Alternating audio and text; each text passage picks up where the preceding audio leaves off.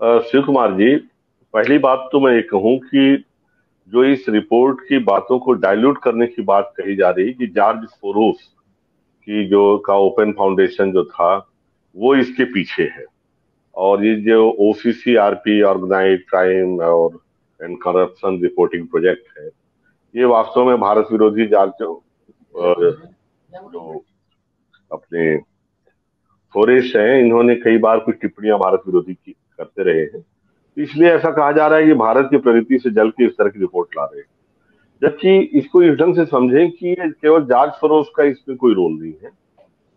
इसमें Rockefeller foundation, Ford foundation, Oak foundation, ये सारे के सारे ने मिलके एक संस्था बनाई, जिसके 24 रीजनल सेंटर है। और बड़े बड़े इकोनॉमिस्ट, एनालिसिस्ट, सारे लोग काम करते हैं। सबने कहा है आपको इस ढंग से समझो जब आपका ये क्या है ब्लूमबर्ग जो वो है बिलियनर इंडेक्स है वो जब कहता है कि आ, आपके अडानी जी दूसरे नंबर पे पहुँच गए तब तो आप वाह वाह करते हो वाह जी वाह। और वहीं पे ध्यान नहीं देते कि ब्लूमबर्ग बिलियनर इंडेक्स ही कहता है कि दो कोरोना के समय सर कोरोना के समय जब देश की अर्थव्यवस्था तेईस परसेंट नीचे जा रही थी तो इस एक आदमी की संपत्ति चौतीस अरब डॉलर से होके चौरासी अरब डॉलर हो जाती, छह महीने में। यानी ढाई सौ प्रतिशत छह महीने में बढ़ी, यानी पाँच सौ प्रतिशत ग्रोथ सालाना किसे कहते हैं आप, पाँच गुना। एक रुपया का दो रुपया कहना, करना जुए में आज चला रहा है। एक रुपया का छह रुपया करना सट्टा होता है। ये व्यापार कैसे हो गया? और गिरीश वालू जी ने बहुत सारी चीज़ें खोल के रख दी। इसमें कुछ ही चीज़ें हैं जो और बताना है, जो जिस तरह से चीज़ें सामने आई हैं, बकायदा चार्ट बन के कि आप साहब गौतम अडानी की कंपनी ये रही और विनोद अडानी की कंपनी ये रही। ये मिस्टर चुंग हैं, ये मिस्टर आहिल है। पैसे हवाला के ज़रिए गए, वहाँ से शेल कंपनी में भरे गए, वहाँ से क्योंकि विनोद जी के साथ कंपनी में डायरेक्टर भी हैं दोनों बंदे, वहाँ के पैसा अदानी जी के यहाँ आ रहा है और खूब माल काटा, चांदी काटी, समझ गए? और ये अब सवाल ये उठता है कि ईडी जो हमारे छत्तीसगढ़ में डेरा डाले हुए है, उसको ये नहीं दिखाई देता, उसको तो एक स्पेशल ब्रांच बनानी पड़ेगी। मेरा मानना है, एक दुबई में अलग से ही एक उनको रीजनल ऑफ़िस खोलना पड़ेगा, अगर सही में इसकी जाँच हो। लेकिन बड़ी अच्छी बात अभी कह रहे थे संजय जी ने भी कहा कि महत्वपूर्ण बात यह है कि ये जो सेबी है, उसका क्या रोल है? जब इतना बड़ा घोटाला होता है हर बार प्रोटेक्ट करने की कोशिश की जाती है। आप समझ रहे हैं सेबी के ज़रिए। सेबी का रोल भी इसे बहुत संदेह बड़ा संदेह वाला है। लेकिन हमारे देश में ये संभव हो जाता है, सुकुमार जी। हमारे देश में एक दिवालिया व्यक्ति, जो ऑफिशियल दिवालिया है, वो व्यक्ति इतने बड़े मकान में रहता है, जिसकी कीमत लगभग चंद्रयान की कीमत के बराबर है। छह सौ, सात सौ करोड़ के बराबर है। उतने बड़े घर में रहता है। वो दिवालिया है ऑफिशियल ये हमारे यहाँ संभव है। हमारे यहाँ संभव है जो ऑटो फ़ील्ड में कभी उसने एक नटबोल्ट का काम नहीं किया है वो हमारे यहाँ राफेल जैसे जो दुनिया का समुन्नत हवाई जहाज़ है उसका काम उसको मिल जाता है। ये हमारे यहाँ ही संभव है। और कैसे संभव है? आप कह रहे थे कि परिवार के बारे में जो कह रहे थे। संजय भाई संजय भाई मैं जोड़ना चाहूँगा परिवार है मोदी जी का। वो परिवार को प्रोटेक्ट करने के लिए जाते हैं ग्रीस गए थे।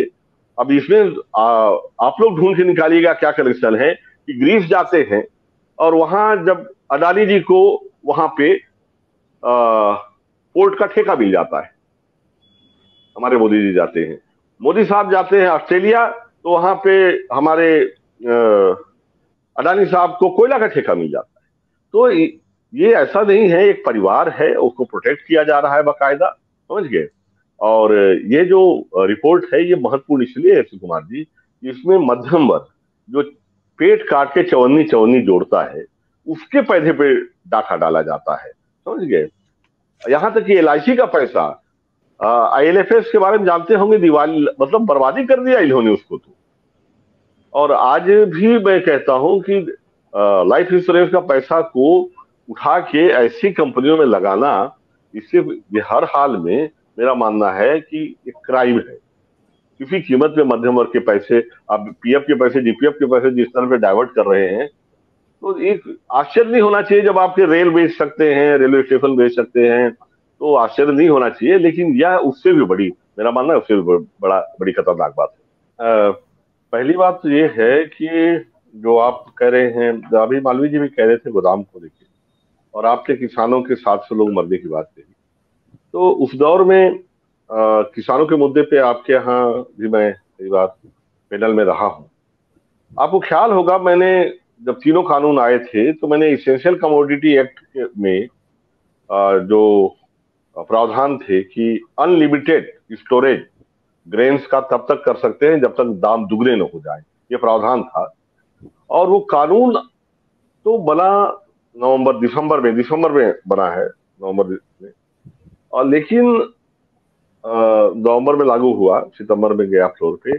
लेकिन ये विधेयक मतलब अध्यादेश बन के आया था पाँच जून। कानून बन के। लेकिन करीब 22 ऐसी कंपनियाँ थी जो अडानी जी ने बनाई थी मध्य प्रदेश में और देश के अलग अलग जगहों में, जो कि गोदाम बनाने के लिए थी वेयर हाउसिंग के लिए लॉजिस्टिक के लिए। यानी कानून बाद में आया, लेकिन कानून के पहले ही गोदाम बनाने के लिए इसेंशियल कमोडिटी एक्ट के तहत अनलिमिटेड गोदाम को मतलब अनाज को खरीद के रखने के लिए पहले गोदाम बना लिए गए, बना, बनने लगे थे। तो ये 22 कंपनियाँ तभी बनेगी थी। तो जब सरकारी नीति का फ़ायदा कारपोरेट मिल के उठाते हैं तो हमेशा रहा है, लेकिन जब नीतियाँ ही कारपोरेट के लिए बनने लगे पूरी की पूरी तो आम आदमी तो हाशिए पे जाएगा ही। अब चाहे आप नितिन गडकरी जी की बात करें तो इस सरकार में आप किसी को बेदाग नहीं रख सकते। आपको ख्याल होगा कि जिस कोल घोटाला की बात करते करके सत्ता पे आए 2014 उसी कोल घोटाले में आ, तब मध्य प्रदेश या छत्तीसगढ़ में रमन सिंह जी का राज था भाजपा का था। और यहाँ के कोल ब्लॉक आवंटन में नितिन जी का नाम आया था इनके करीबियों को किया गया था आवंटित की गई थी खदारी। तो उसमें घोटाले में नाम आया था। उसके अलावा सिंचाई घोटाले में नाम आया है इनका, पूर्ति घोटाले में आया है।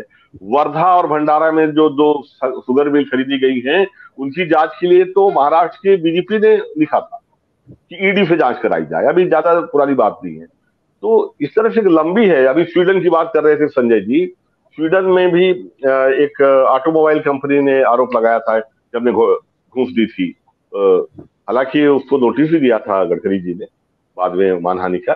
लेकिन मैं ये कह रहा हूँ कि आप जिसकी भी पूछ उठाएँगे या जहाँ भी देखेंगे तो मतलब जिसका, हर एक ने लूटा है।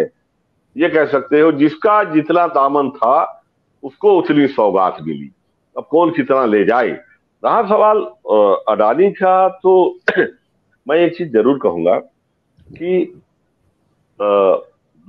अन्य देशों के मीडिया में आप देखिएगा कि कारपोरेट के घोटाले को उजागर करने में बड़ी मेहनत की जाती है।